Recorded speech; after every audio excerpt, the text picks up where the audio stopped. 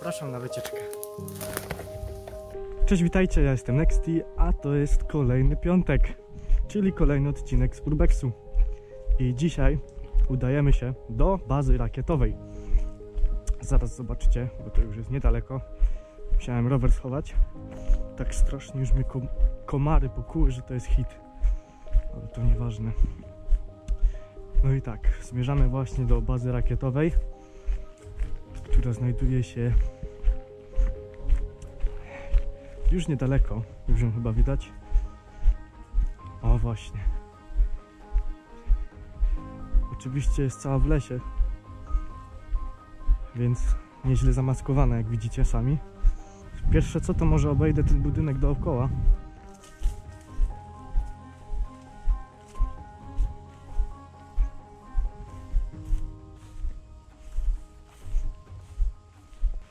Obszedłem ten cały teren dookoła i w sumie nic tam ciekawego się nie znajduje. I nie będę ukrywał, ale byłem tutaj kilka miesięcy temu, więc wiem jak to tutaj wszystko wygląda. Przynajmniej w środku, bo do zewnątrz tego jeszcze nie zwiedzałem. Ale no, teraz przed chwilą byłem i nic nie ma ciekawego.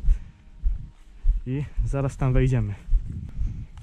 Tutaj znajdowały się chyba garaże e, dostosowane pod jakieś tam pojazdy i się tam pakowało różne rzeczy. Niestety nie wiem co, bo w wojsku nie byłem. Ale tak to mniej więcej wyglądało.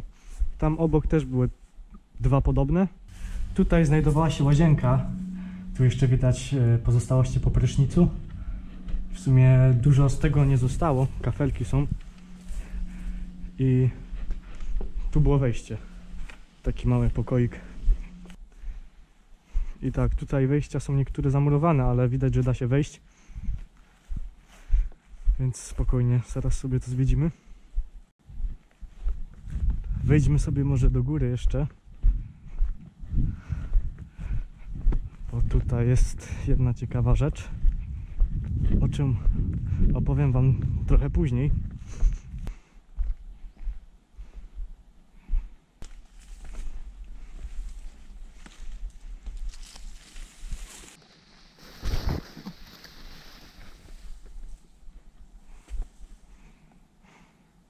Na podstawie zarządzenia szefa sztabu generalnego zbudowano właśnie ten obiekt, na którego terenie teraz się znajduje.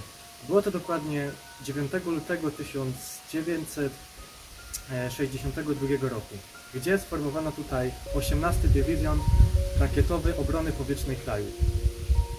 E, Służył on aż do 1989 roku, ponieważ został on rozformowany, a w jego miejsce rok później został tutaj przygrupowany inny dywizjon z Gliwic numer 74.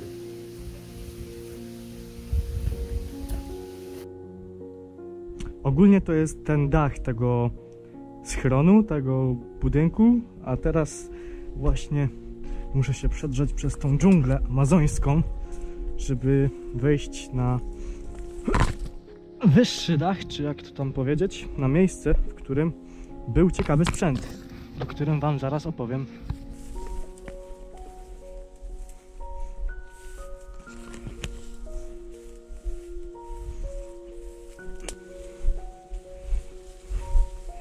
Masakra.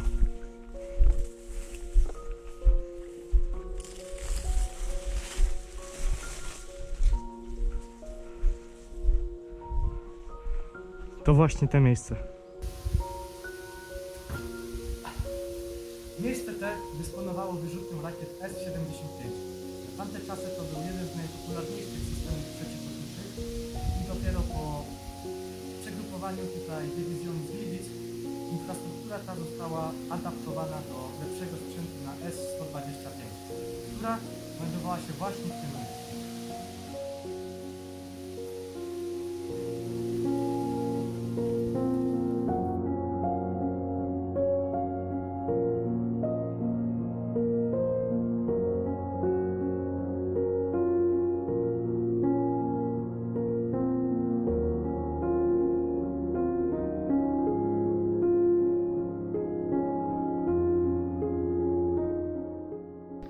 Dobra, schodzimy właśnie z tego dachu i w końcu bierzemy się do zwiedzenia tego, co jest wewnątrz.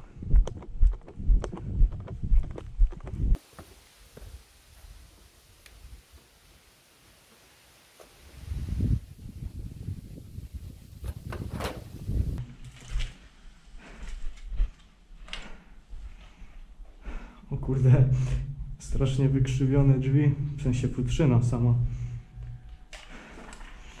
O, tu też również był prysznic, widać pozostałości. Tam też coś jest, ale chyba tam się obok da wejść, więc zaraz tam pójdę.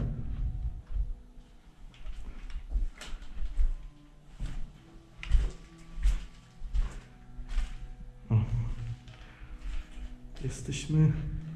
Nie wiem w ogóle co to są za pomieszczenia, więc, bo ja tutaj obeznany nie jestem. Tylko widać, że tutaj była właśnie łazienka.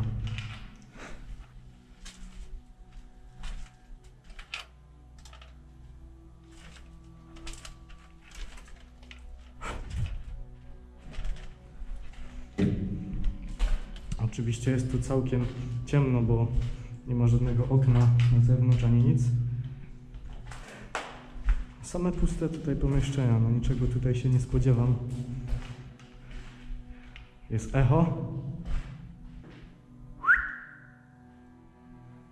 Droga ewakuacyjna numer dwa.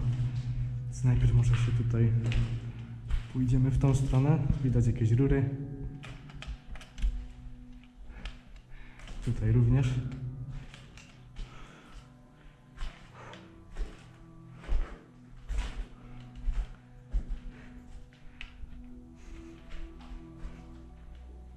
No sam gruz, sam gruz. Tutaj jest jakiś napis na ścianie. Instrukcja wychodzenia z obiektu. Uzyskaj zezwolenie na wyjście. Mhm. Rozumiem. Tutaj była ta rura powieszona, widać takie uchwyty na nią. Gdzieś tam dalej prowadziła. Uwaga. Tu coś tam, odzież ochronną podczas wyjścia do strefy skażonej. Hmm, czyli tutaj była odzież ochronna. Kolejne pomieszczenie. Są kafelki, więc możliwe, że tu była jakaś woda, czy coś takiego.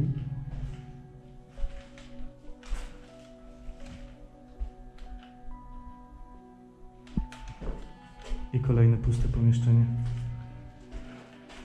Instrukcja przechodzenia zabiegów specjalnych i sanitarnych. Coś tu jeszcze jest. Uwaga, udaj się do ambulatorium chyba. Możliwe, że coś takiego tu było napisane. O, tutaj są te garaże, które, które Wam pokazywałem wcześniej. I no i widzimy zewnątrz. O, tam właśnie jest wejście, przez które wchodziłem. No więc można w sumie tędy wyjść. Tu jest też drugie, drugi garaż.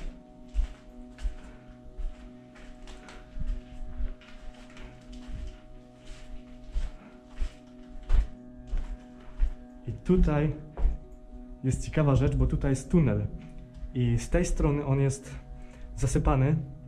Tam była drabina i się dało wejść e, z góry, po drabinie na dół, ale został on zasypany właśnie z góry. Ale tutaj na prawo da się wejść. I sobie wchodzimy. Ajaj, mój statyw ucierpiał, ale trudno. Każdego szkoda. Widać, on jest taki, ma taki ciekawy kształt. Tutaj chyba również się dało wejść. Też zasypane. Widać prześwit z góry. Więc no nie jest to jakoś głęboko pod ziemią.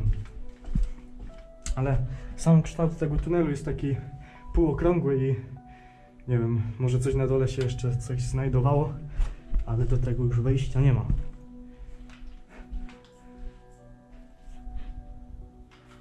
O Jezus, motyl, ale się go przestraszyłem. Biedny chyba się zaklinował. Eee, tutaj również jest garaż. No, więc droga ewakuacji jest. Zrobię jeszcze zdjęcie na Instagrama, relację, więc kto jeszcze nie followuje, to polecam. Link jest w opisie. Ciekawe zdjęcia ostatnio tam doszły i oczywiście dojdą, więc możecie zajrzeć na Instagrama. Kto ma, polecam. Next Urbex. Zasięgu tutaj nie ma. Oczywiście takich dywizjonów rakietowych podobnych do tego jest oczywiście o wiele więcej. Od 1960 roku aż do 2011 roku powstało ich aż dokładnie 51, rozprzestrzenionych po całej Polsce. Niektóre nawet funkcjonują do dzisiaj. Ja teraz szukam drogi wyjścia i chyba sobie wyjdę tak jak wszedłem. No. A, jeszcze wam nie powiedziałem, w którym roku został on opuszczony. A stało się to w 2001 roku, gdy właśnie tutaj ten e, dywizjon 74 z Gliwic znowu zmienił miejsce i wrócili, e, został przybazowiony z powrotem do Gliwic. I od tamtego czasu właśnie stoi osierocony i niszczeje. O, wandale, wandale tutaj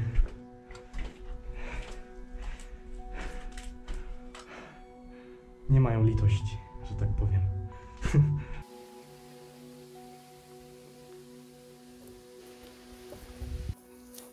Jeszcze jedna ciekawostka. Na całym terenie była rozprowadzona taka siatka. Ona miała za zadanie maskować i sprawiać, żeby obiekt był niewidoczny. W tym momencie znajdują się tylko na obszarze same fragmenty tej siatki.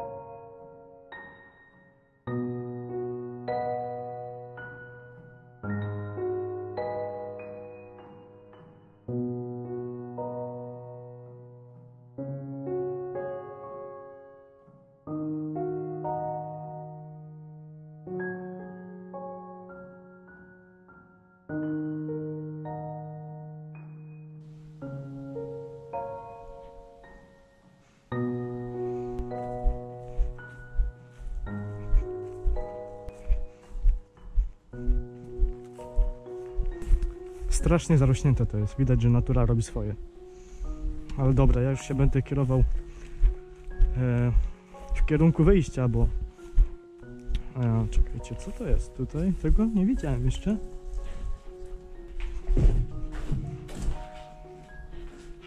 O, tutaj był jakiś piec. I balony. Okej. Dobra. Wychodzimy.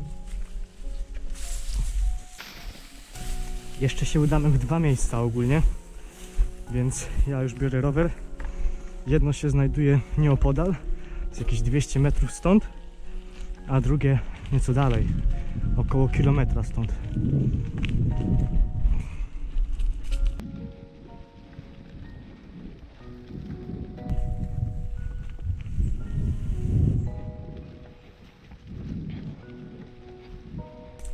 Dobra, więc jestem w tym pierwszym miejscu, które się znajduje, nie wiem, no te 100 metrów, może 200. I tutaj kiedyś stał taki ogromny budynek, ogromne pomieszczenie. No niestety już go nie ma, jest zrównane z ziemią. I po prostu chciałem wam pokazać, że to tu było. Znajduję się teraz w miejscu, gdzie kiedyś stały budynki należące również do bazy rakietowej. Jest ono położone gdzieś około kilometra od tamtej bazy. No i w chwili obecnej no, dużo z tego nie zostało. Wszystko zostało zrównane z ziemią. No i teraz same ruiny.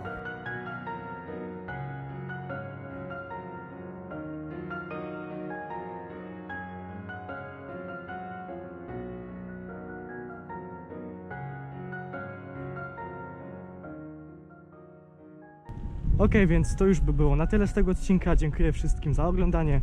I oczywiście, jak jeszcze nie subskrybujesz, to pora to chyba zmienić.